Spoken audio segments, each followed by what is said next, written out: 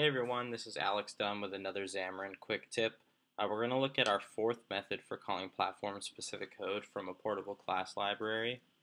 If you haven't seen any of the previous videos, there are links to the source code for this and the previous ones all together uh, up on GitHub, and there's also a link here to the Hockey App SDK since that's the platform-specific code we're going to be implementing. So this fourth method that we're going to be looking at is dependency injection. So previously we've done um, a singleton, we've done the Xamarin Forms dependency service, and then we've looked at a non-Xamarin Forms service locator.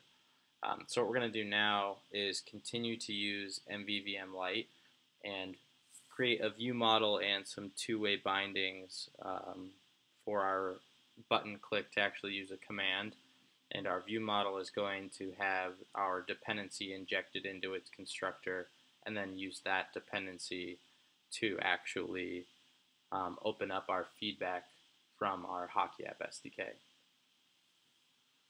So back over in Visual Studio, we have our original hockey service we created.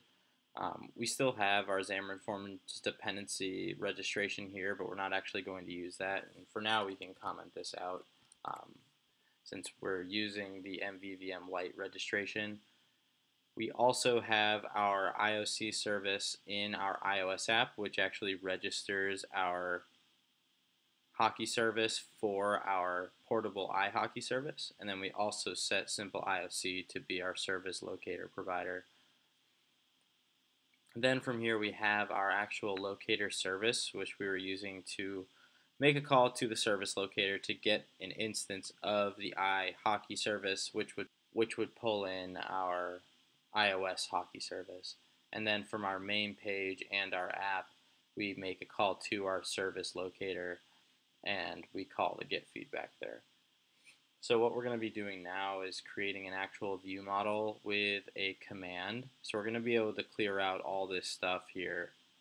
Um, and we're going to be able to call our hockey service by injecting it into our constructor. So we won't have a need to call the locator service here anymore. So what we're going to do now is we'll go ahead and add a view model and we'll just add it to the root since that's where our page is.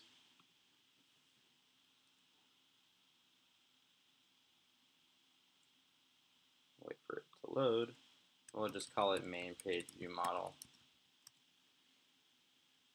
And all this is going to need is a command um, as well as a private read-only iHockey service, which will then get injected through the constructor. So we're going to use the base class from MVVM Light in order to get our iNotify property change implementation and all that, that it does handle pretty well for us.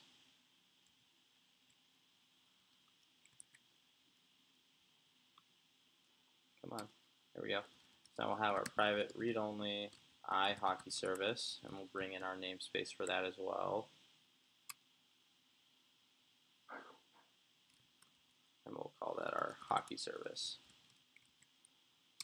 And now in, we'll call our constructor, and our constructor is going to take in an iHockey service,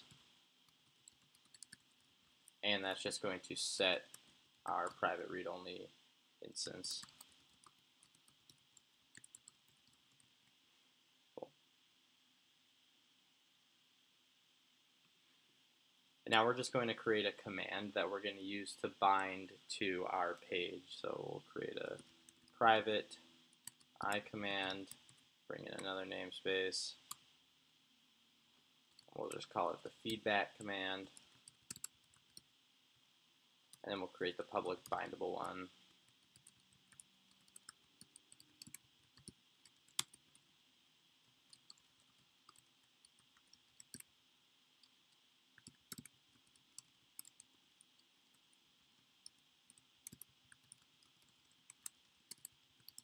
We're going to use the relay command that comes with MVVM Light. Uh, that way we're not also still not bound to the Xamarin Forms command. And then this is going to call, oh, I need my namespace, hockey service dot get feedback.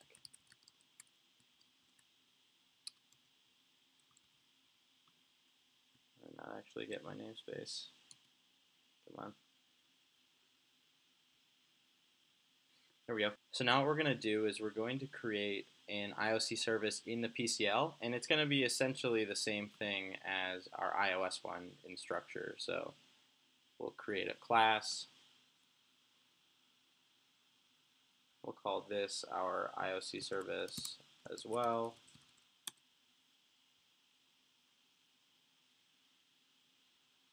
And so what we're going to do now is create a method to register our view model uh, in a similar way that we did our service before.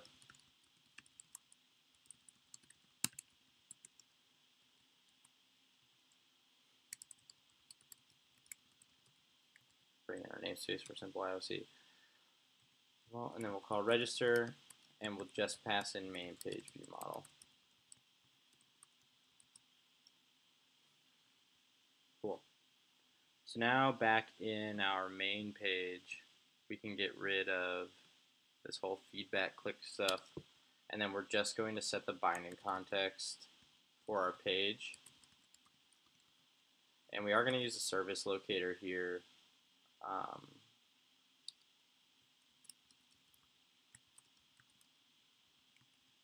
in order to pull in our view model.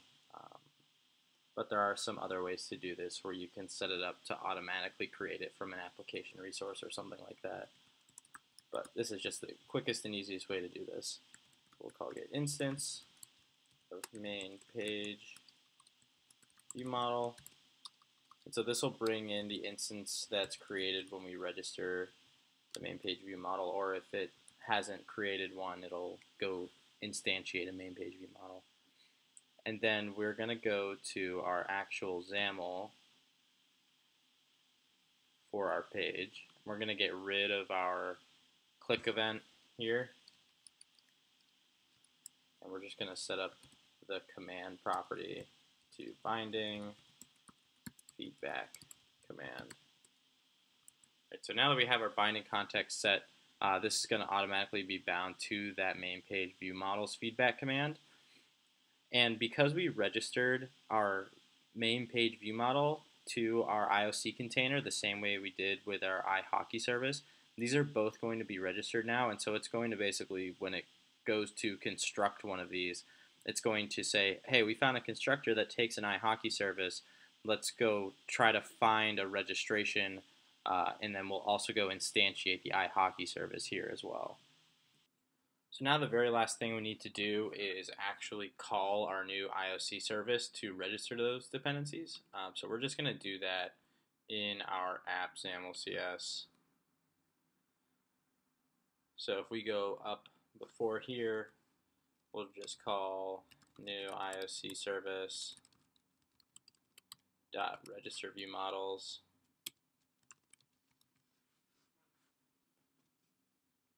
Cool. And now we might have a name conflict in our app delegate. Yeah, so we'll just specify the namespace here. Actually, even better, we'll rename the iOS specific IOC service to be an iOS IOC service, and then we'll go back here and rename it since the auto rename isn't going to work there. There we go. All right, cool. So now we should be able to run this and once again see the exact same result of being able to see our hockey app feedback. So once again, back in our app, we have that same button, um, and clicking it pulls up our hockey app feedback control the same way it did before. Uh, so this time it's using dependency injection instead of our service locator or singleton pattern, um, which is more robust and more reusable between different code bases, which is awesome.